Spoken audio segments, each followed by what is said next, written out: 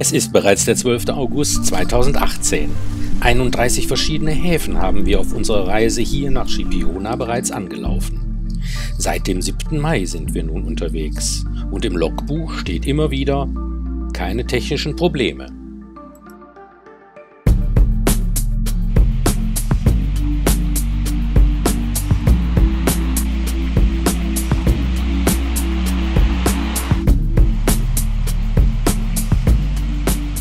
In Episode 20 habe ich euch ja schon so einiges von Schipiona gezeigt.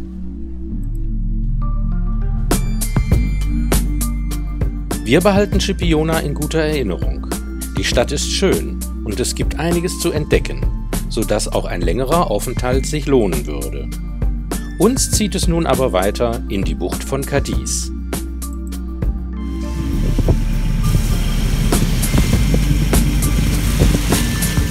Verlassen Schipiona. Bei herrlichstem Wetter.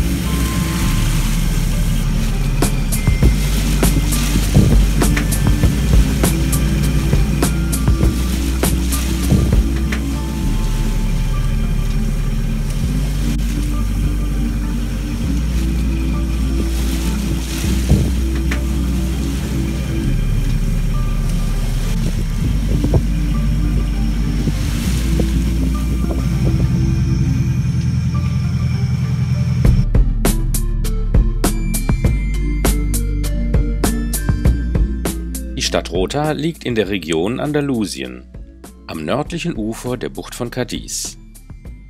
Am Castillo de Luna wird an den spanischen Steuermann Bartolomé Pérez erinnert. Dieser steuerte die Karavelle San Juan von Christopher Columbus bei seiner zweiten Entdeckungsreise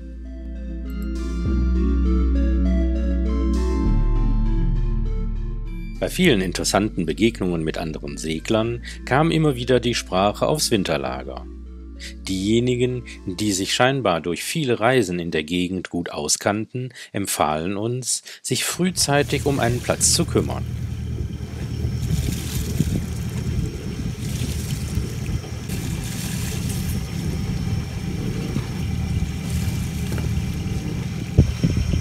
Bucht von Cadiz erscheint uns als prädestinierte Gegend, die Frage der Winterpause zu lösen.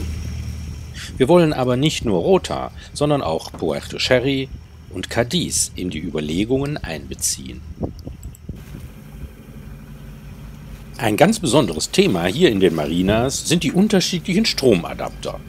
So verlangte man in Christina 110 Euro Deposit für einen solchen Spezialadapter in Sherry musste man einen Mega-Adapter leihen und diesen von einem Mariniero an das eigene Stromkabel anschließen lassen. Deposit 75 Euro.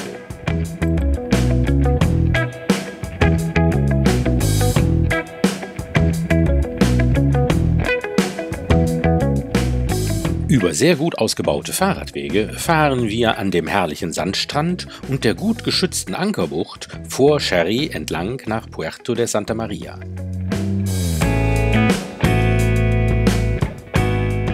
El Puerto de Santa Maria bildet die südliche Spitze des sogenannten Sherry-Dreiecks. Nur die Weine aus dieser andalusischen Gegend dürfen nach dem speziellen Reifungsprozess als Sherry bezeichnet werden.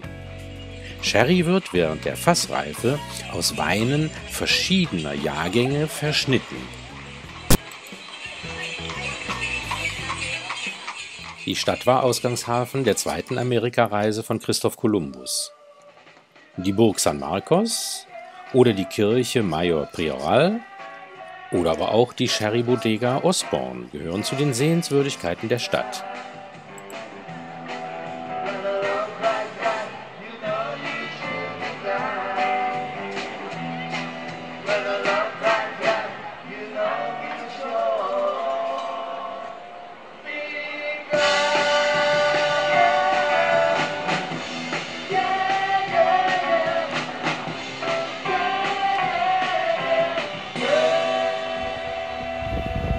Einer Nacht mit Hafenkonzert legen wir am Morgen des 15.08. in Cherry ab, mit Ziel Barbate.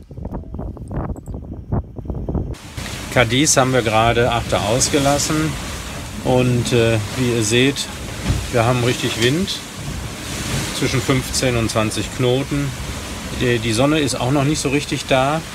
Ich weiß nicht, was heute los ist, obwohl der Wetterbericht davon nichts gesagt hat. Aber äh, wir haben auch wieder Welle.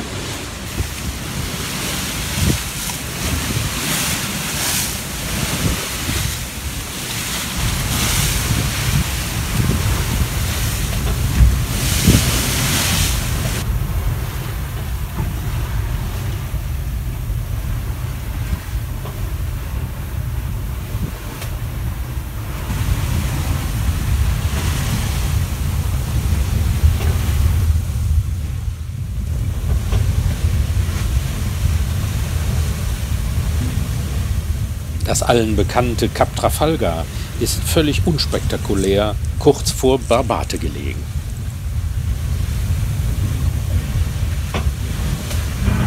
Der Wind hat deutlich nachgelassen, sodass wir die Maschine wieder mitlaufen haben.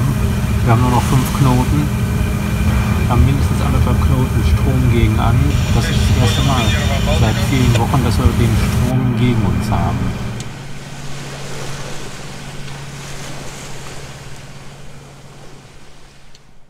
Barbate, die alte Hippie-Hochburg aus den 60er Jahren. Ein Zentrum des Thunfischfangs. Wir beschließen nur einen Übernachtungsstopp hier einzulegen, um unser Ziel Gibraltar mit günstigen Windbedingungen zu erreichen. Auf dem Rückweg wollen wir uns hier in Barbate mehr Zeit lassen. Als wir Barbate am nächsten Morgen verlassen, können wir diesen Ort noch gar nicht recht einschätzen. Die Marina selbst ist ja in Ordnung, jedoch völlig überteuert. Es gibt kein WLAN und die Gebäude drumherum stehen alle leer. Es gibt keinerlei Infrastruktur und der Ort ist nur per Fahrrad oder per Auto zu erreichen. Würde man die Preise senken, könnte ich mir vorstellen, dass die Leute wieder kämen und vielleicht auch länger blieben.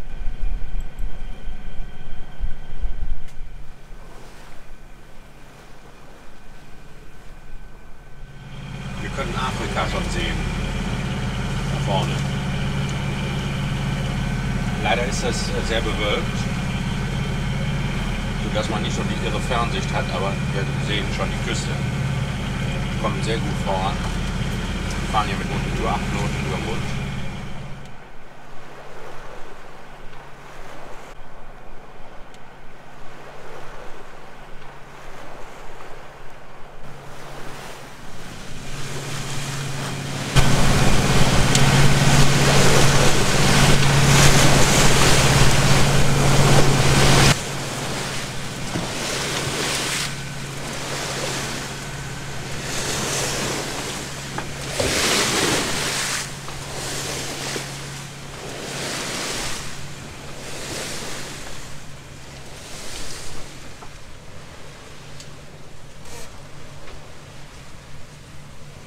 Die Meerenge von Gibraltar ist bekannt für ihre großen Strömungen. Momentan haben wir hier vier Knoten Strömung mit uns und sind zeitweise mit einer Geschwindigkeit von elf Knoten über Grund unterwegs. Die hier kleinen Wellen kennzeichnen die Grenzen der Races. Dahinter ist oft keine Strömung. Die Straße von Gibraltar ist zwischen 14 und 44 Kilometer breit und 60 Kilometer lang. Die Wassertiefe beträgt 300 bis 900 Meter. Nur an dieser einen Stelle findet ein Wasseraustausch des Mittelmeeres statt. Da das Wasser im Mittelmeer schneller verdunstet als im Atlantik, kommt es zu einem Niveauunterschied von ein bis zwei Metern. Hierdurch entsteht an der Wasseroberfläche ein ständig ostwärts also ins Mittelmeer hinein versetzender Strom. In größeren Tiefen strömt das Wasser wegen des höheren Salzgehaltes aus dem Mittelmeer heraus. Wir arbeiten uns jetzt hier durch dieses Ankerliegerfeld durch. Ziemlich viel los hier. Die Meerenge gehört zu den meistbefahrensten Wasserwegen der Welt. 300 bis 400 Schiffe passieren täglich die Straße von Gibraltar.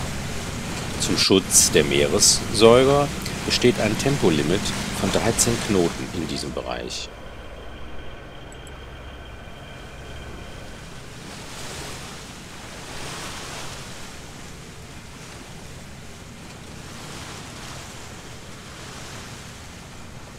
Wir haben uns, wie es die meisten Segler tun, für die Marina Lelinia entschieden.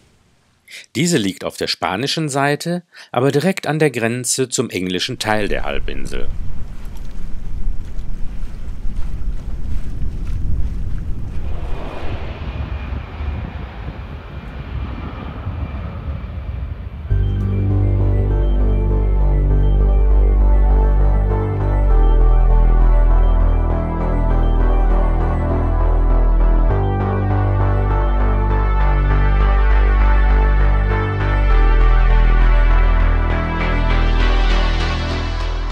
1938 wurde der Flughafen hier in Gibraltar als Militärflughafen eröffnet. Erst ab 1987 wurde er auch für den zivilen Luftverkehr freigegeben. Das Besondere und weltweit Einmalige an diesem Flughafen ist, dass seine Start- und Landebahn von der Winston Churchill Avenue gekreuzt wird. Bei Starts und Landungen wird diese einfach kurzerhand gesperrt. Die größte Touristenattraktion Gibraltars ist zweifelsohne der berühmte Affenfelsen. Man kann ihn per Drahtseilbahn erklimmen und den Blick über die Meerenge bis nach Marokko genießen.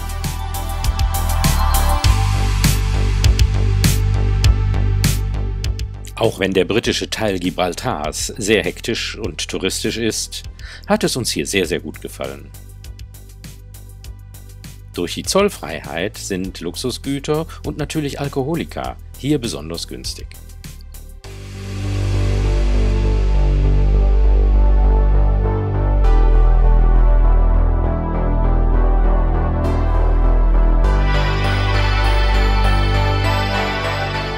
Mit Gibraltar haben wir nun in 2018 den südlichsten Ort unserer Reise erreicht und müssen uns wirklich langsam um einen Winterliegeplatz kümmern.